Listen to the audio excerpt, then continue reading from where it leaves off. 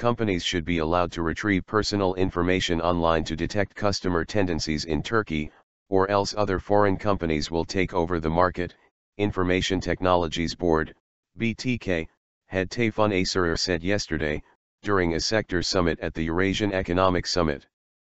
Acerer said personal data retrieval will be one of the key issues of the upcoming age, and companies should be allowed to interfere if Turkey does not want to leave to market open to other actors. We need to discuss this, and process it, Acerer said, adding that future wars will be economic in nature, making customer tendencies one of the most vital aspects of the industry.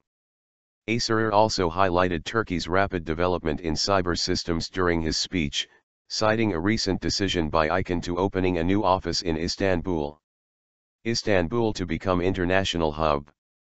Istanbul is now set to become one of the three internet governance hubs of ICANN, alongside Los Angeles and Singapore, Acerer, who had just returned from the meeting in China, told guests and speakers.